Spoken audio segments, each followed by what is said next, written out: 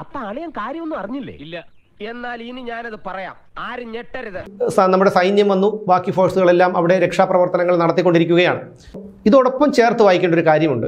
സുഗുണം പോകരുത്. നമുക്ക് നമ്മുടെ മുഖ്യമന്ത്രി പോലീസിന്റെ ആവശ്യത്തിനെന്ന് പറഞ്ഞ് ഒരു ഹെലികോപ്റ്റർ വാടകയ്ക്ക് എടുത്തിട്ടിട്ട് എട്ട് മാസമായി. പിന്നീട് വരെ അവസരം കിട്ടിയില്ലെങ്കിൽ എൺപത് ലക്ഷം രൂപയാണ് പവൻ ഹംസ് ഏവിയേഷൻ കമ്പനിയിൽ നിന്ന് വാടകയ്ക്ക് എടുത്ത ഈ ഹെലികോപ്റ്ററിന്റെ ഒരു മാസത്തെ വാടക. വളരെ കുറഞ്ഞു പോയല്ലോ ചേട്ടാ. ഇതിൽ വന്ന വിശദീകരണം എന്ന് പറഞ്ഞാൽ ഈ ഹെലികോപ്റ്ററിന് പ്രതികൂല കാലാവസ്ഥ മൂലം പറക്കാൻ കഴിഞ്ഞില്ല എന്ന എന്നുള്ളതാണ് ഇന്നലെ വന്നത്. അതൊക്കെ ഗോപാലകൃഷ്ണൻ ഒരു ഒരു നമ്പറാ? അതിൽ വേണ്ട തെണ്ടി. അപ്പോൾ പിന്നെ നേവിയുടെ ഹെലികോപ്റ്ററും മിലിറ്ററിയുടെ ഹെലികോപ്റ്ററൊക്കെ വന്നല്ലോ. അതെങ്ങനെയാ വന്നത്? എയർഫോഴ്സിന്റെ ഒക്കെ ഹെലികോപ്റ്റർ വന്നിട്ടുണ്ടായിരുന്നല്ലോ. നിങ്ങൾ പറഞ്ഞത് ശരിയാണ്. അമ്പത്തിരണ്ട് രൂപ ഉണ്ടായിരുന്ന കരിമീൻ ഇപ്പൊ എൺപത്തഞ്ച് രൂപയാണ്. ഈ കണക്കിന് എങ്ങനെ ജീവിക്കാം? അതും ഹെലികോപ്റ്റർ ആണല്ലോ. അപ്പൊ പിന്നെ എന്തിനാണ് ഇതുപോലൊരു ഡമ്മി എടുത്തിട്ടിരിക്കുന്നത്? നിങ്ങളോട് എനിക്കൊരു ദേഷ്യമില്ല വിവരമില്ലായ്മ ഒരു കുറ്റമല്ലല്ലോ. അതെ. ജനങ്ങളുടെ മനസ്സിൽ അത് കൂടുതൽ എത്തണമെങ്കിൽ ജനങ്ങൾ ചിന്തിക്കണമെങ്കിൽ നമ്മൾ ഇതുപോലുള്ള അവസരങ്ങളിലാണ് ഇത് പറയാനുള്ള ശരിയായ സമയം. നീ ഒറ്റ ഒരുത്തം കാരണം മാനവ മര്യാദയ്ക്ക് ജീവിക്കുന്ന എനിക്ക് മനസമാധാനത്തോടെ വഴി നടക്കാൻ പറ്റാണ്ടായി.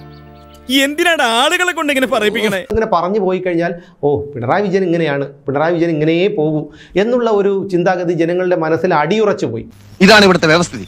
We are living in a very cruel society ഇവിടുത്തെ ക്രമസമാധാന നില ആകെ തകരാറിലായിരിക്കുന്നു. ഇപ്പൊ അച്ഛന് മനസ്സിലായില്ലേ? അതുകൊണ്ട് ഇത്തരം സന്ദർഭങ്ങളിൽ ഈ കാര്യങ്ങൾ പറഞ്ഞാൽ ജനങ്ങൾക്ക് കൂടുതൽ ഒരു പിന്നെ അവർ കൂടുതൽ ഓർമ്മിക്കാൻ തക്ക കാരണമാകും.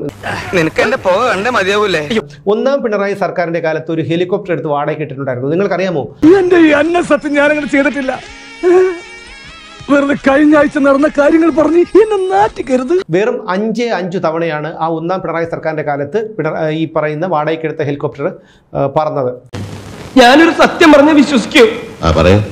എന്നാ എനിക്കത് ഓർമ്മയില്ല. ഏകദേശം ഇരുപത്തിമൂന്ന് കോടിയോളം രൂപയാണ് ഒരു ഹെലികോപ്റ്റർ വാടകയ്ക്ക് എടുത്ത് വെറുതെ ഇട്ടിരുന്നതിന് വേണ്ടി നമ്മുടെ പൊതു ഖജനാവിൽ നിന്ന് ചെലവഴിച്ചത്.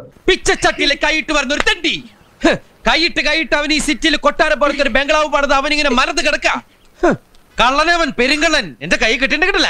രണ്ടാം പിണറായി സർക്കാരിന്റെ കാലത്തും പല വിമർശനങ്ങൾ ഉണ്ടായിട്ടും ഒന്നും ഗൗനിച്ചില്ല. അതായത് ഈ മന്ത്രിമാരൊക്കെ തന്നെ കൊള്ള നടത്തിയതിന്റെ അടിസ്ഥാനത്തിലാണ് ഈ ഖജനാവ് കാലിയായി ഈ രൂപത്തിൽ നമുക്ക് ഒരു സാമ്പത്തിക പ്രതിസന്ധി തന്നെ നേരിടേണ്ടി വന്നിട്ടുള്ളത്. സർക്കാർ വാടക- വാടകയ്ക്ക് എടുത്ത ഹെലികോപ്റ്റർ കിടപ്പുണ്ട്. പക്ഷെ അത് വെറും ഡമ്മി ആണോ ഒന്നുകൂടി? ആ ചാലക്കുടിയിൽ ആരെങ്കിലും ഒക്കെ ഉണ്ടെങ്കിൽ ഒന്ന് ഒന്ന് നോക്കിയ നന്നായിരുന്നു. ഇനി ഞാനിവിടെ നിന്ന് ഡയലോഗ് പറഞ്ഞ കരഞ്ഞു ഉസ്മാനെ രക്ഷപ്പെട്ടോ